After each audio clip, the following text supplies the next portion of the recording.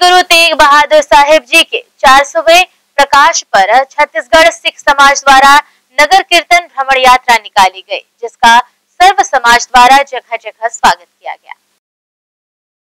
श्री गुरु तेग बहादुर साहिब जी के 400 जयंती के अवसर प्रकाश पर्व पर समर्पित शताब्दी समागम के तहत छत्तीसगढ़ सिख समाज रायपुर द्वारा नगर कीर्तन भ्रमण यात्रा निकाली गई, जो राजधानी रायपुर से चलकर भिलाई दुर्ग राजनांदगांव होते हुए डोंगरगढ़ से वापस रायपुर पहुंचेगी। इसी कड़ी में नगर कीर्तन भ्रमण यात्रा का आगमन रविवार को दुर्ग में हुआ, जिसका भव्य स्वागत सिख समाज द्वारा किया गया और पंच प्यारों को फूलों की माला पहनाकर स्वागत किया गया। इस अवसर पर सिख समाज द्वारा दुर्ग के राजेंद्र पार्क चौक में नगर भ्रमण यात्रा का भव्य स्वागत किया गया और श्री तेज बहादुर जी के 400 वर्ष हो जाने की खुशी में शरबत वितरण किया गया। साथ ही इस नगर भ्रमण यात्रा में अगुवाई करते हुए छत्तीसगढ़ राज्य आयोग के अध्यक्ष महेंद्र सिंह छाबड़ा ने न्यूज़ टीम के समक्ष अपनी प्रतिक्रिया दी। साथ ही सिख समाज के पदाधिकारियों ने भ्रमण यात्रा के बारे में अपना संदेश दिया।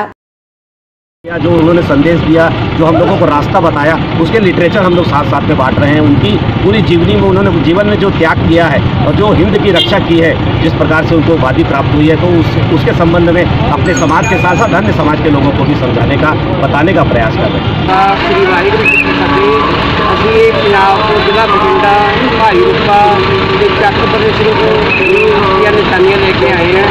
माता सुंदर ਮਹਾਰਾਜ ਦਾ ਦੁਪਹਿਰਾ ਹੋਰ ਵੀ ਕਾਫੀ ਨਿਸ਼ਾਨੀਆਂ ਇੱਥੇ ਲੈ ਕੇ ਆਏ ਸੰਗਤ ਨੂੰ ਦਰਸ਼ਨ ਕਰਾਉਣ ਲਈ ਆਓ ਸਾਧਨ ਜੀ ਆਪਾਂ ਦਰਸ਼ਨ ਕਰਦੇ ਹਾਂ ਆਹ ਸਾਧਨ ਜੀ ਮੰਡਲ ਹੁਕਮਨਾਮਾ ਗੁਰੂ ਗੋਬਿੰਦ ਸਿੰਘ ਮਹਾਰਾਜ ਦਾ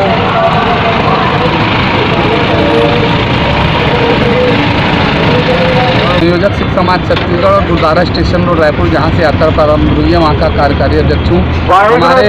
दसवें हम हमारे नवे समूह सात संगत ਵੱਲੋਂ हमारे नवे गुरु श्री गुरु तेग बहादुर जी का चार सौ साल प्रकाश पर्व रहा और उसका एक संदेश से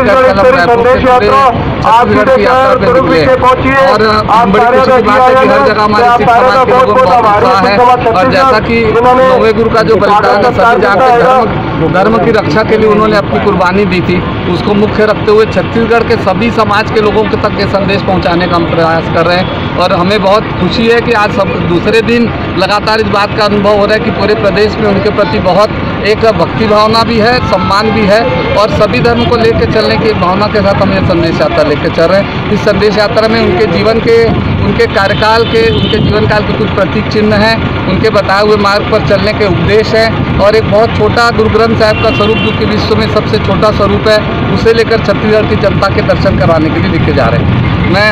पूरे छत्तीसगढ़ के सिख समाज को श्री गुरु तेग बहादुर जी के चार सौ साल प्रकाश पर बहुत बहुत बधाई देता हूँ। वह जी बते ये जो संदेश यात्रा आ रही है मतलब रायपुर से मेरे हमारे बड़े छोटे भी बड़े वीर भाई साहब का बहुत बहुत उपराला है सावड़ा जी का जो कि पूरे छत्तीसगढ़ को एक माला में पुरो रहे सभी गुरुद्वारों में हर जगह ये संदेश यात्रा को पहुँचा रहे हैं। और इनका बहुत बहुत धन्यवाद जो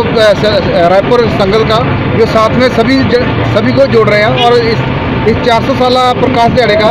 लख लख बधाई हो सभी संगत को। वाहिगुरू जी का खालसा वाहिगुरू जी की। मैं अरविंदर सिंह खुराना प्रधान सेवादार गुरुद्वारा श्री गुरु सिंह सभा दुर्ग हम दुर्ग की समूह सात संगत दुर्ग भिलाई की समूह सात संगत सबसे पहले तो हमारे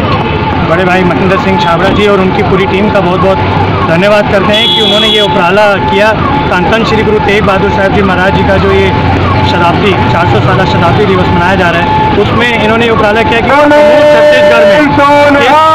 शताब्दी यात्रा को इन्होंने